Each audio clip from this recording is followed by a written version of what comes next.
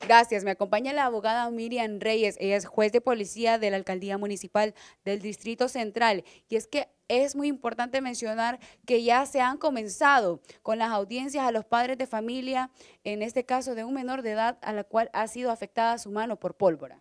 Así es, para el día de mañana a las 10 está citada la madre del menor Sebastián Edgardo Álvarez, que fue el que salió afectado producto de pólvora, que la manipuló con una cebolla. El niño tiene 14 años y ahorita inspectores del juzgado de policía se encuentran en el materno infantil para citar a la mamá eh, para, para el día de mañana.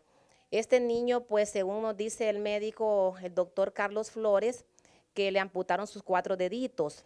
Este es el mensaje que nosotros venimos dando día a día desde que comenzó casi el año y a los padres de familia dirigido especialmente el grado de responsabilidad que tienen ellos con sus muchachos y que no los cuidan. Y es producto de esta situación en que este niño pues ahora eh, prácticamente ha perdido su manito.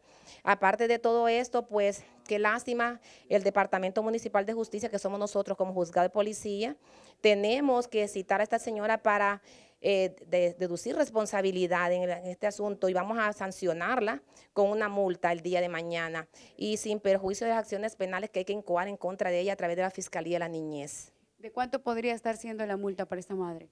Pues la multa, la ordenanza dice que va de mil a cinco mil empiras, pues aquí va a depender del criterio del abogado eh, en cuanto a la sanción impuesta.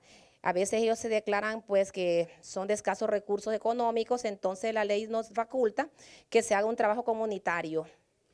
También algo muy importante, eh, juez, es sobre las personas que disparan al aire y es que también serán multadas. Así es, todas las personas que irresponsablemente están haciendo esto son citadas por el Departamento Municipal de Justicia, la sanción son de 20 mil empiras y se le decomisa el arma y también las sanciones que hay que incoar con ellos penalmente. Esto es muy importante mencionarlo debido a que eh, las personas pueden denunciar a los vecinos que vean haciendo esto, ya que, como decimos, eh, siempre todo lo que sube tiene que bajar y puede quitarle la vida a una persona. Sí, imagínense cuántos disparos que causan muertes, desgracia en las familias, que enlutan las familias hondureñas. Y les hacemos un llamado, ¿verdad?, que esto es totalmente prohibido y que no lo hagan porque algunos con la ingesta de alcohol es que hacen estos disparos al aire y tenemos una línea la cual está habilitada 24-7 que es el número 3211-3268. Se puede hacer la denuncia también a la línea 100. Nosotros como Departamento Municipal de Justicia hemos estado trabajando en esta labor eh, que es 24, 23, lo trabajamos igual, vamos a trabajar 30, 31 todos los días. El único día que se descansó fue el 25 y sin embargo se anduvo en los hospitales investigando cuántos eran los niños quemados en el Distrito Central, pero solo hay un niño quemado hasta la fecha en el Distrito Central y que es un niño de 14 años. Muchas gracias a la juez de policía Miriam Reyes que nos ha brindado toda esta información sumamente importante y de las sanciones a las que se pueden enfrentar. En cámara de Alejandro Irías les informó Nirvana Velázquez.